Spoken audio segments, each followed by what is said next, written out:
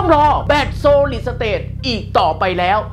2023 ปีของแบตเกลือโซเดียม ถูกกว่าลิเธียมถึง 3 เท่า เตรียมผลิตใช้จริงแล้ว BYD CATL มาแน่ เรื่องราวจะเป็นยังไง เอาเป็นว่าเดี๋ยวเล่าให้ฟัง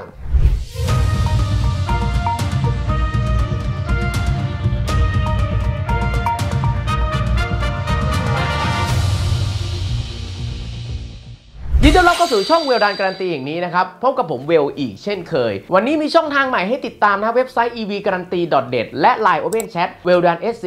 X Trader KP นะครับ อัปเดตความเคลื่อนไหวเทคโนโลยียานยนต์ในอนาคต และพลังงานสะอาดที่น่าสนใจทั่วโลกในที่เดียว ท่ามกลางกระแสความต้องการรถยนต์ไฟฟ้าที่เพิ่มมากขึ้นเรื่อยๆ ดูจากงานมอเตอร์เอ็กซ์โปหรือมหากรรมยานยนต์ที่เพิ่งจบไปนะครับ จะเห็นว่าค่ายไหนนะฮะที่เอารถยนต์ไฟฟ้ามาตั้งโชว์นะครับ ค่ายนั้นจะได้รับความสนใจเป็นพิเศษนะครับ ซึ่งต้องบอกว่าค่ายที่มาสร้างสีสันส่วนใหญ่ก็จะเป็นค่ายน้องใหม่จากประเทศจีนนะ ไม่ว่าจะเป็นค่ายเนต้า BYD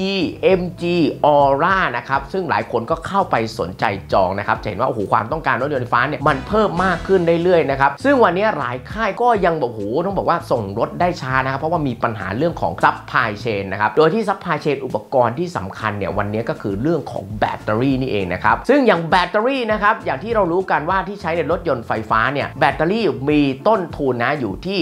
50%ของราคารถเลยก็ว่าได้นะครับโดยที่แบตเตอรี่ที่เราใช้ในรถยนต์ไฟฟ้าส่วนใหญ่นะจะมีอยู่ 3 ประเภทหลักๆ ก็คือเป็นลิเธียมไอออนลิเธียม LFP iron phosphate ลิเธียม NMC นะครับหรือลิเธียม nickel manganese cobalt นะครับซึ่งเป็นลิเธียมที่บอกว่าโอ้โหให้พลังงานสูงที่สุดนะรถแรงต้องลิเธียม NMC อย่างเทสลานะครับซึ่งวันนี้จะเห็นว่าส่วนใหญ่แบตเตอรี่ที่ใช้ในรถยนต์ไฟฟ้าเป็นตระกูลลิเธียมนะครับซึ่งวันนี้ลิเธียมเองนะเป็นแร่ที่มีอยู่อย่างจำกัดนะครับท่ามกลางสถานการณ์ความผันผวนด้านเรื่องของสงครามยูเครนความต้องการที่มากขึ้นทั่วทางโลกนะรถยนต์ไฟฟ้าทั่วทั้งโลกทำให้วันนี้ราคาแร่ลิเธียมเนี่ยโอ้โหดีดขึ้นไปค่อนข้างสูงมากเลยนะครับค่ายรถก็ต้องแบกต้นทุนนะดังนั้นนะอย่างไม่ว่าจะเป็นค่ายรถยักษ์ใหญ่อย่างเทสลา BYD ค่ายผลิตแบตยักษ์ใหญ่อย่าง Cat L นะครับต้องถึงขนาดเข้าไปผูกสัมปทานเหมืองแร่ลิเธียมนะเพื่อจะลดความผันผวนของต้นทุนในการผลิตแบตเตอรี่ลิเธียมเลยก็ว่าได้นะครับหากมองย้อนดู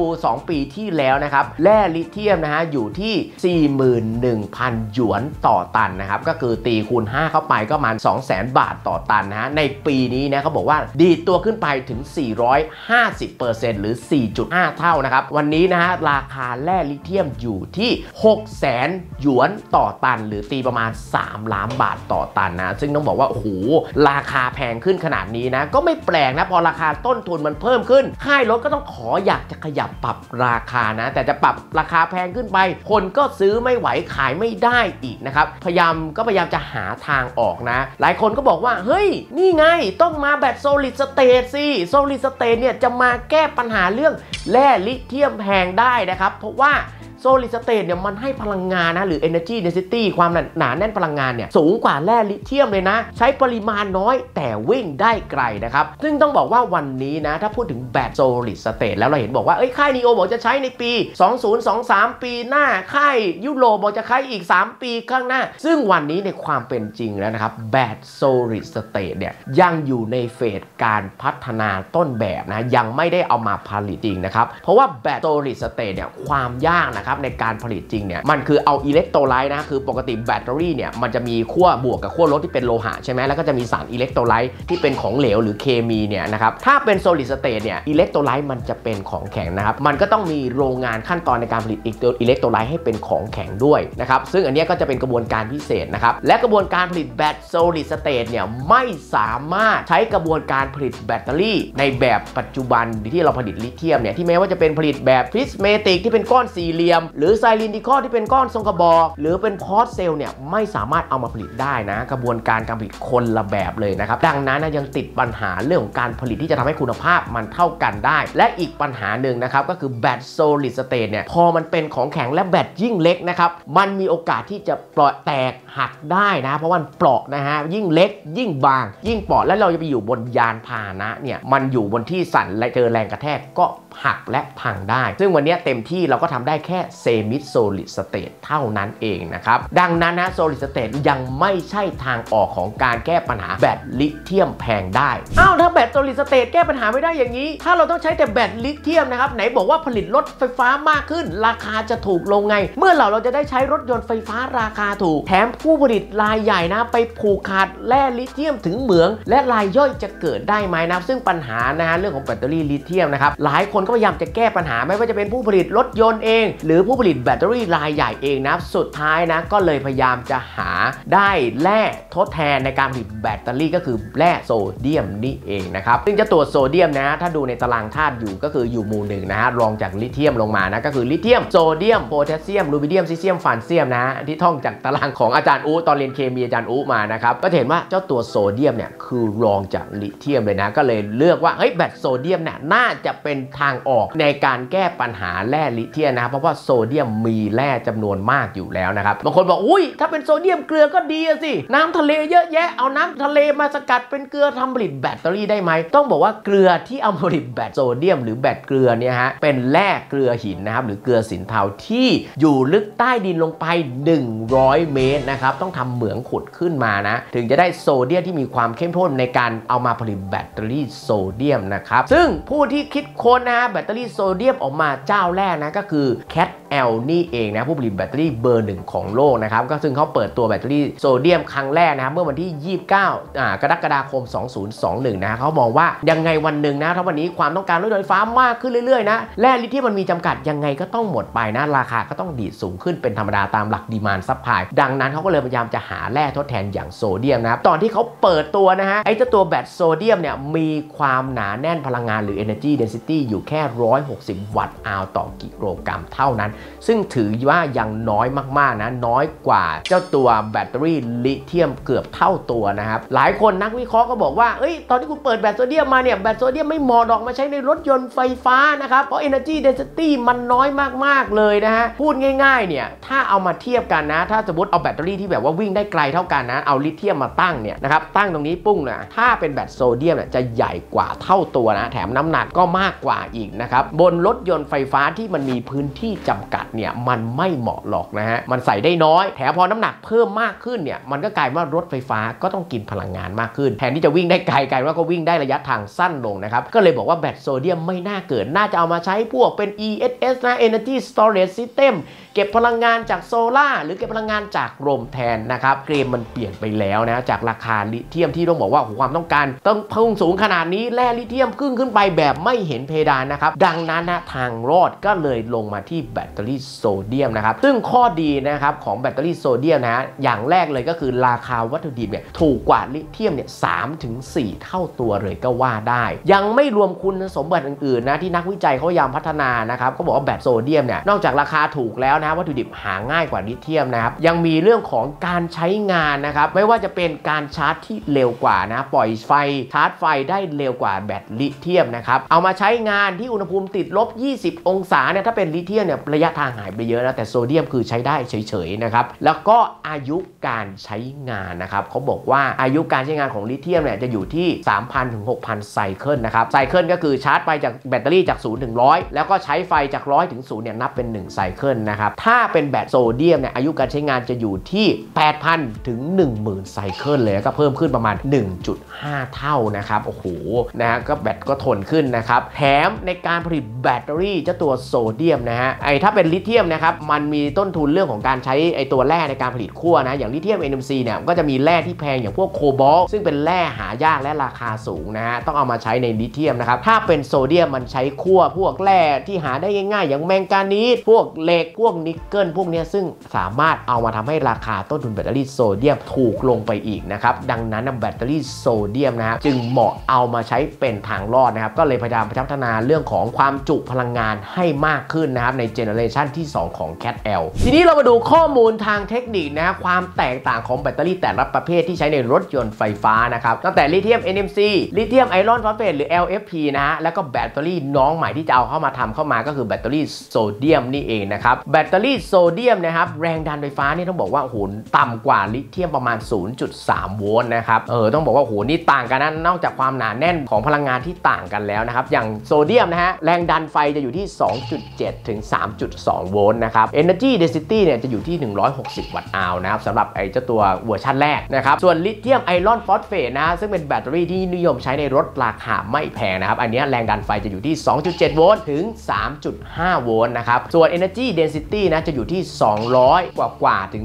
260 วัตต์อาวต่อกิโลกรัม แล้วก็แบตเตอรี่ที่ High Performance ที่สุดนะ เอาไว้ใช้กับพวกรถแรงนะนั้นเน้นน้ำหนักเบาเล่นวิ่งได้ไกลนะก็คือลิเธียม NMC นะอย่างพวกเทสลาก็จะใช้ลิเธียม NMC นะครับ แรงดันไฟจะอยู่ที่ 2.7 ถึง 4.2 โวลต์นะครับ ส่วน Energy Density หรือความหนาแน่นพลังงานของลิเธียม NMC จะอยู่ที่ 300 watt hour ต่อกิโลกรัม ส่วนแบต solid state ก็คือ 360 watt hour ต่อกิโลกรัมนะก็คือความหนาแน่นพลังงานดีสุดนะครับ แต่ยังผลิตใช้จริงไม่ได้เนาะจะเห็นว่าเจ้าตัวลิเธียม NMC กับแบตโซเดียมนะเอาแบบดีสุดกับแย่สุดนะครับโอ้โหต่างกันค่อนข้างเยอะนะโวลต์ต่างกันนะถึง 0.7 โวลต์นะครับส่วนเจ้าตัว Energy Density เนี่ยต่างกันถึง 1 เท่าตัวเลยนะครับ ซึ่งเขาก็เลยมองว่าอะถ้าช่วงแรกนะเราอยากจะลดต้นทุนแบตเตอรี่ลิเธียมนะครับก็เอาแบตเตอรี่โซเดียมมาใช้กับแบตเตอรี่ลิเธียม NMC เอามาใช้งานงานร่วมกันนะโดยใช้เจ้าตัว BMS นะครับหรือ Battery Management System เนี่ยในการบริหารจัดการให้แบตเตอรี่ในแต่ละเซลล์เนี่ยทำงานควบคู่กันไปได้นะ ซึ่งต้องบอกว่าไอ้เทคโนโลยีเนี้ย BMS ต้องฉลาดมากๆนะครับ ซึ่ง NEO เป็นค่ายแรกที่ทำสำเร็จแล้วนะ เอาแบตเตอรี่ลิเธียมไอรอนฟอสเฟตกับลิเธียม NMC มาใช้งานร่วมกันนะครับ ความยากคือพอแบตเตอรี่นะฮะแรงดันไฟมันไม่เท่ากัน ความหนาแน่นพลังงานไม่เท่ากัน มันเหมือนเอาคน 2 คนที่ความสามารถแตกต่างกันเนี่ยนะ เหมือนนักบอลนะและผู้จัดการ BMS ก็คือเหมือนผู้จัดการทีมนะต้องทำยังไงให้ 2 คนเนี่ยทำงานร่วมกันให้ทีมชนะให้ได้ เหมือนกันนะฮะไอ้เจ้าตัวเอาลิเธียม NMC มาทำงานร่วมกับโซเดียม คนเก่งสุด กับคนห่วยสุดเอามาอยู่ด้วยกันทำงานร่วมกันได้ ซึ่งวันนี้เขาลองทำและทำสำเร็จแล้วนะครับ ซึ่งวันนี้ทาง CATL ก็ประกาศว่าเอ้ยเดี๋ยวเขาเนี่ยจะเอามาเริ่มมาใช้งานในรถยนต์ไฟฟ้าเริ่มจากเอามาผสมก่อนนะครับ แล้วจะเพิ่มคุณสมบัติแบตเตอรี่โซเดียมนะฮะให้ความหนาแน่นพลังงานเพิ่มขึ้นนะครับจาก 160 watt hour นะครับให้กลายเป็น 200 watt hour ต่อกิโลกรัมนะครับให้มากกว่าให้ได้ มันถึงจะใกล้เคียงพยายามจะใกล้เคียงลิเธียม iron phosphate ให้มากที่สุดนะครับ ซึ่งเขาตอนนี้เขาบอกว่าทำได้แล้วนะครับ แล้วจะเริ่มผลิตนะฮะแบบเต็มรูปแบบเนี่ยในช่วงกลางปีหน้าเป็นต้นไปนะตั้งแต่ปี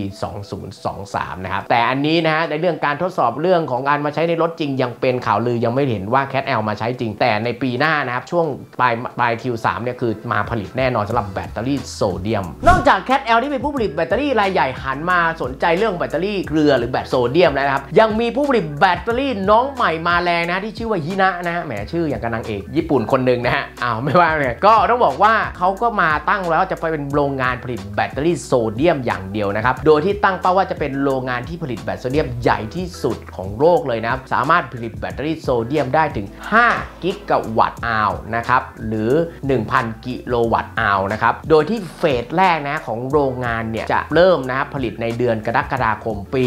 2023 หรือปีหน้านะครับประมาณต้น Q3 นะ ก็คือเฟสแรกเนี่ยจะผลิตให้ได้ 1 gigawatt hour นะครับ ซึ่งเป็นแบตเตอรี่โซเดียมอย่างเดียวเลยนะครับ โดยที่ตอนนี้นะฮะของบริษัท HiNa เนี่ยเขาบอกว่าแบตเตอรี่โซเดียมเขามี energy density อยู่ที่ 145 วัตต์อาวต่อกิโลกรัมนะ แล้วตอนนี้เขาจะมีแผนที่จะเพิ่มนะวิจัยเพิ่มนะเป็น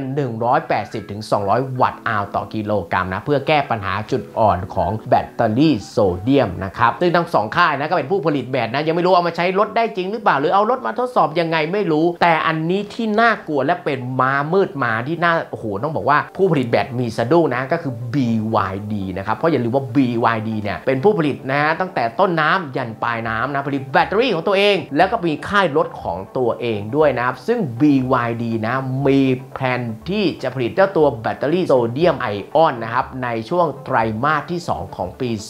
2023 นี้นะครับ แล้วมีแผนจะเอามาใช้ในรถยนต์ไฟฟ้าราคาถูกแทนแทนเจ้าตัวแบตเตอรี่ iron phosphate นะครับหรือ LFP ของเขานะเพราะบอกว่าวันนี้ราคาลิเธียมมันแพงจริงๆนะต่อให้ทำเป็นลิเธียม iron phosphate ยังไงราคาก็กดลงไม่ได้เพราะต้นทุนมันเพิ่มขึ้นนะครับซึ่งจะเอามาใช้ในรถยนต์ไฟฟ้าที่ราคาไม่แพงอย่างเจ้าตัว Qin EV ที่เป็นรถเก๋งนะครับถ้าใครไปงาน Motor Expo จะเห็นนะครับก็จะเป็นรถเก๋งนะซึ่งตัวที่เอามาโชว์เป็น plug-in นะครับตัว Dolphin นะครับซึ่งเป็นรถ city car นะฮะอ่ารถเล็กนะครับและตัวที่เป็นตัวใหม่นะครับอย่างเจ้าตัว Seagull นี่เองนะครับซึ่งกลุ่มพวกนี้นะจะเป็นรถราคาตั้งแต่ 1.5 1ถึง1.5 แสนหยวนนะครับหรือประมาณ4ถึง5แสนบาทนะซึ่งตรงเนี้ยเขาจะเอามาใช้นะครับ ซึ่งต้องบอกว่ารถกลุ่มนี้เป็นตลาดที่ใหญ่นะและแข่งกันเรื่องของราคานะถ้าตีถ้าตีเป็น Market Share นะส่วนแบ่งการตลาดของรถราคาไม่แพงในจีนเนี่ยซึ่งจีนเป็นตลาดรถยนต์ไฟฟ้าที่ใหญ่เบอร์หนึ่งของโลกนะครับสัดส่วนของรถราคากลุ่มนี้จะอยู่ที่ 36.8%นะถือว่าเป็น Market Share ที่ใหญ่มากๆ ถ้าเขาเอาแบตเตอรี่โซเดียมไอออนมาใช้ได้สำเร็จนะเขาจะกดต้นทุนราคาลดพวกราคาไม่แพงทำให้ได้เลยนะครับ ซึ่งอันนี้ต้องบอกว่าเป็นค่ายม้ามืดที่แม้แต่ CATL หรือบริษัทน้องใหม่อย่าง HiNa ก็กังวลนะ เพราะว่าเขามีรถให้ลองใช้พร้อมขายได้เลย ก็ สรุปนะครับสำหรับปี 2023 นะฮะ เป็นปีของแบตเตอรี่โซเดียม หรือแบตเกลือเลยก็ว่าได้นะ จะเห็นว่าความต้องการรถยนต์ไฟฟ้าเนี่ย โอ้โห วันนี้มันเติบโตแบบก้าวกระโดดมาก ๆ นะครับ สวนทางกับแร่ลิเธียมที่มีอย่างจำกัดนะ และราคาก็ดีดตัวขึ้นเรื่อย ๆ นะครับทำให้นะราคาแบตเตอรี่นะ ซึ่งเป็นต้นทุนสำคัญครึ่งหนึ่งของราคารถนะครับ ต้องบอกว่า โอ้โห ไม่สามารถถูกลงได้นะ ผลิตเยอะไปก็ยังแพงขึ้นอยู่ดี ดังนั้นก็ต้องหาแร่ทดแทนอย่างแบตเตอรี่โซเดียมนี่เองนะ ซึ่งต้องบอกว่าราคาถูกลงถึง 3 เท่าทั้งผู้ผลิตแบตเตอรี่ค่ายรถนะก็พยายามจะกดต้นทุนลงมาให้ได้ใครทำได้นะ คนนั้นครองตลาดนะก็พยายามจะแก้จุดอ่อนเรื่องความหนาแน่นพลังงานให้ได้นะครับ เพราะว่าแบตเตอรี่โซเดียมนะกระบวนการเหมือนแบตเตอรี่ลิเธียมเลยเพียงแต่เปลี่ยนสารข้างในนะ เหมือนที่ผมพาไปดูที่มหาลัยขอนแก่นนะในการผลิตแบตเกลือมานะครับซึ่งผมก็เอาใจช่วยบ้านเรานะครับว่าถ้าบ้านเราทำได้แถมแร่เกลือหินนะเรามีอยู่ใต้ดินถึง 18 ล้านล้านตันถ้าทำได้นะครับเราจะกลายเป็นฮับแห่ง EV นะ มันจะมี power ในการต่อรอง เพราะอย่าลืมว่าแบตเตอรี่ราคาครึ่งหนึ่งของรถยนต์ไฟฟ้า แทบจะเรียกว่าเป็นหัวใจสำคัญของรถยนต์ไฟฟ้าในยุคหน้าเลยก็ว่าได้นะครับ แข่งกันที่เทคโนโลยีตรงเรื่องของแบตเตอรี่นี่แหละนะครับ ก็เอาใจช่วยนะครับ เพื่อนๆคิดเห็นยังไงนะครับสำหรับ 2023 นะครับปีของแบตเตอรี่เกลือนะครับที่จะทำให้รถยนต์ไฟฟ้าราคาถูกลงนะอย่างน้อยราคาแบตถูกลง 3 เท่านะครับ คิดว่าจะเป็นไปได้มากน้อยขนาดไหน คิดว่าจะได้ใช้รถยนต์ไฟฟ้าราคาเท่าไหร่นะครับ ก็อยากให้คอมเมนต์มาที่ด้านล่างนี้ได้เลยนะครับ ถ้าชอบคลิปความรู้นี้นะฝากกดแชร์ให้เพื่อนๆได้ดูกดไลค์ซับสักกระดิ่งเป็นกำลังใจให้ด้วยนะครับไว้ถ้ามีความรู้เรื่องราวอะไรเจ๋งๆนะจะมาเล่าให้ฟังอีกนะครับสำหรับคลิปนี้จบเพียงเท่านี้ เจอกันในคลิปหน้านะครับ